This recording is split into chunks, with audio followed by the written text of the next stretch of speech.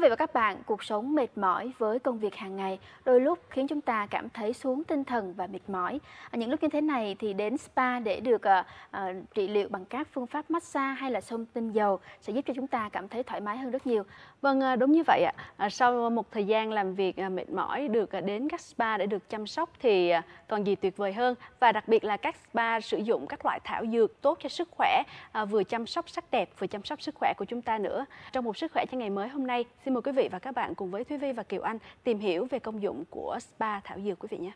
Từ ngàn xưa, các loại hình chăm sóc sắc đẹp và sức khỏe đã được áp dụng nhưng phần lớn chỉ phục vụ cho đối tượng vương giả quý tộc. Theo xu hướng phát triển hiện nay, spa đã không còn xa lạ đối với mọi người.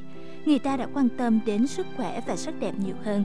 Vì thế, cụm từ spa đã trở nên quen thuộc Đến với những trung tâm spa hiện nay, khách hàng hầu hết được chăm sóc bằng những liệu pháp tự nhiên.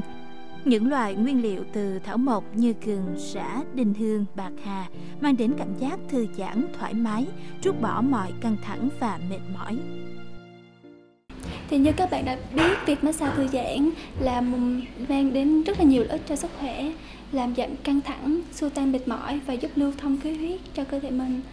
Và hơn thế nữa, việc massage được kết hợp với thảo dược là dùng trong việc điều trị giảm đau nhất cho do các vết bầm tím gây ra, nhanh chóng phục hồi các cơ bắp căng cứng do làm việc quá sức hay mệt mỏi. Khi cuộc sống ngày càng tức bật bộn bề lo toan, thì con người lại càng mong muốn hướng đến một cuộc sống bình yên, thư thái, Chính vì thế, ngày càng có nhiều người tìm đến những trung tâm spa để giúp giải tỏa cân bằng tinh thần, sức khỏe cũng như làm đẹp cho bản thân mình.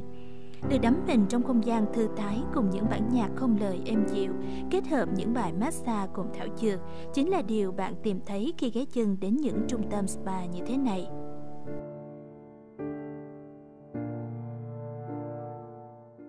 Mỗi lần sau khi làm việc mệt mỏi về thì mình thường đến spa ở ke để thư giãn bằng cách là massage. Sau khi massage ở spa về thì cảm giác người rất là thoải mái rất là thư giãn.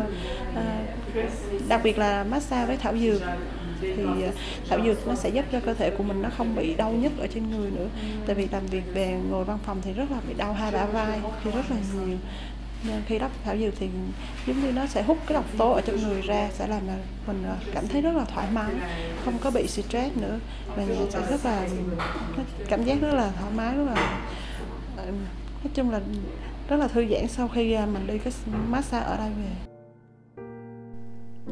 Dù spa đã ngày càng trở nên quen thuộc, thế nhưng theo các chuyên gia chia sẻ thì bạn cũng cần lưu ý một số điều khi đi spa không nên đến spa sau khi ăn no hoặc uống nhiều rượu bia hoặc trong khi đói.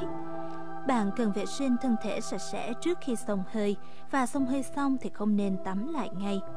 Không nên xông hơi quá lâu, mỗi lần không quá 10 phút và tối đa là 3 lần một tuần. Vì massage xông hơi cần được thực hiện một cách chừng mực và cân nhắc theo từng thể trạng Người từ 12 tuổi trở lên mới nên massage xông hơi.